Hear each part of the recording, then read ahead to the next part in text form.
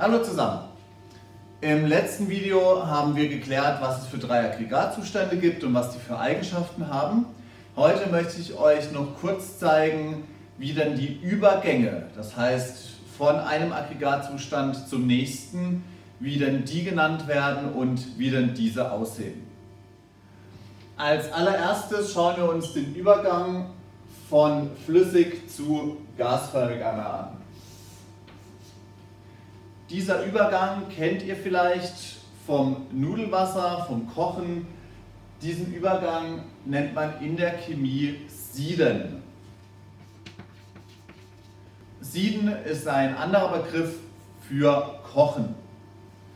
Wie das Ganze aussieht, zeige ich euch jetzt ganz kurz. Ich habe hier jetzt etwas Wasser und ein Siedesteinchen hier drin. Immer wenn wir einen Stoff zum Sieden bringen, machen wir ein Siedesteinchen mit hinein, denn sonst kann es zu einem Siedeverzug kommen und dann könnte schlagartig sich das Wasser ausdehnen. Das ist in der Chemie immer wichtig, dass wir ein Siedesteinchen mit dazu machen. Ich halte das nun über meinen Gasbrenner mit der rauschenden Flamme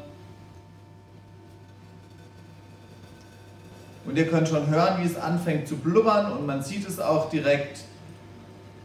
Hier haben wir ein Sieden, das heißt ein Kochen des Wassers. Genau das ist das Sieden, wenn eine Flüssigkeit beginnt zu kochen und gasförmig wird. Hier vorne sieht man hoffentlich auf dem Video den Wasserdampf aufsteigen. Das Wasser wird nun gasförmig und vermischt sich mit der Luft, geht in die Luft über. Der nächste Übergang, den ich euch zeigen möchte, ist von gasförmig zu flüssig. Diesen Übergang nennt man Kondensieren.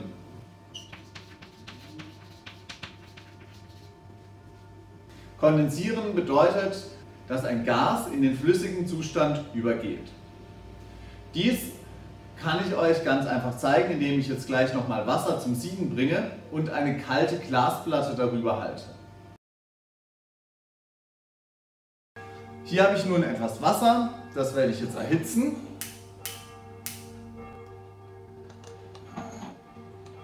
Und kurz warten, bis es siedet. Das Wasser kocht nun, das heißt, es siedet. Es geht nun vom flüssigen in den gasförmigen Zustand über. Wenn ich nun eine kalte Glasplatte hier drüber halte,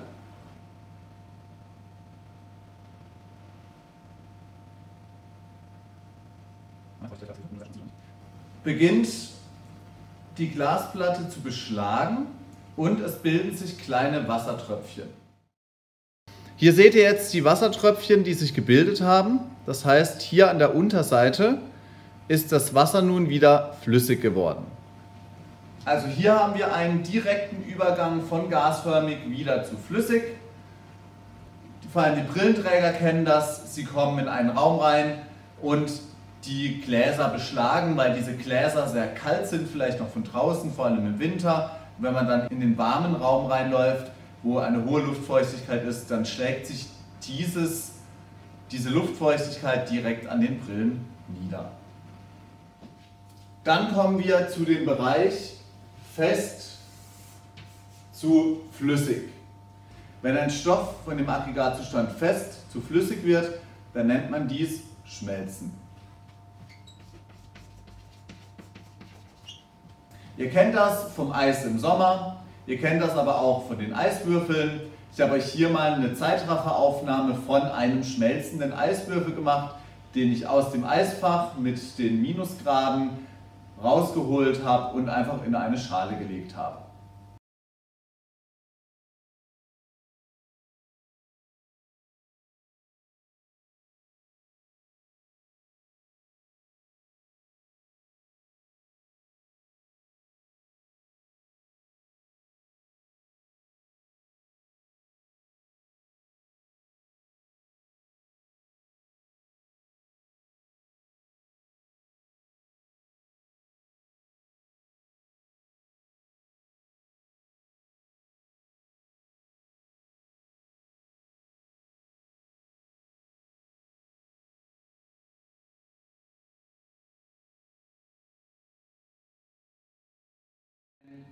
Der nächste Übergang ist von flüssig zu fest. Den Übergang nennt man Erstarren.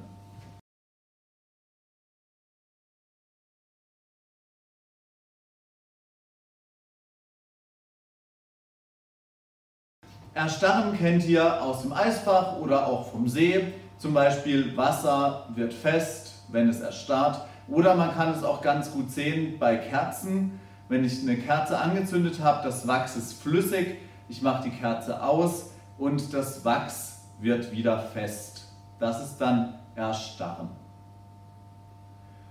Dazu habe ich euch das kurze Video gemacht. Ich habe mal ganz kurz einfach in den Eisbach reingefilmt. Leider kann man das jetzt nicht so gut sehen, weil ich da keine Zeitrafferaufnahme machen konnte. Aber man sieht mal, wie das so im Stundenschrittweise dann vorangegangen ist.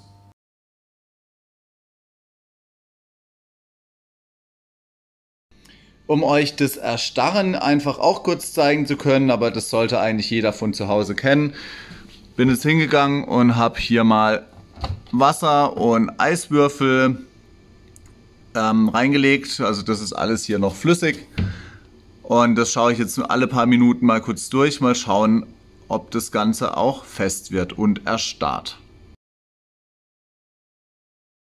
So, jetzt gucken wir hier nochmal ins Eisfach rein und sehen schon, dass hier die Eiswürfel jetzt schon erstarrt sind. Das heißt, hier habe ich schon teilweise feste Eiswürfel, festes Wasser. Auch hier drin haben wir schon eine Eisschicht oben. Das ist jetzt wirklich das Erstarren, von dem ich gesprochen habe. Das ist noch nicht ganz dicht, noch nicht ganz fest. Aber hier oben hatte ich jetzt schon eine leichte Eisschicht drauf, die ich auch hier zerbrechen kann. Das ist das Erstarren, von dem ich vorhin gesprochen habe. Das sind die Übergänge, die man kennt. Die kommen im Alltag vor und passieren relativ häufig. Zwei Übergänge, und zwar der von gasförmig zu fest und von fest zu gasförmig, die habe ich jetzt noch nicht erwähnt. Diese beiden Übergänge sind nur für das M- und das E-Niveau wichtig. Aber auch diese gibt es und dass ihr sie gehört habt, möchte ich sie euch jetzt hier auch einmal anschreiben.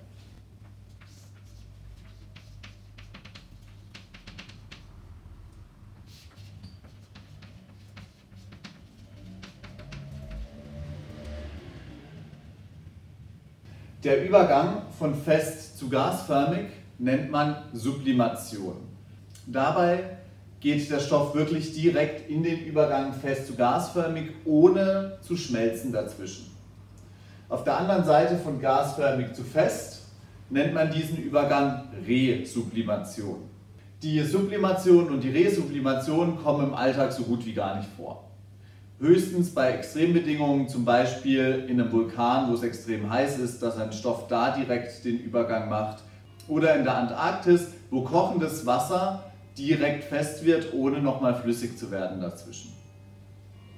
Das sind so Punkte, da kann man das Ganze sehen und beobachten, aber wirklich nur bei Extrembedingungen. Dazu gibt es aber auch ein Experiment dazu, das zeige ich euch in einem separaten Video, das habe ich euch verlinkt für M- und E-Niveau nochmal einfach das Experiment zur Sublimation und Resublimation.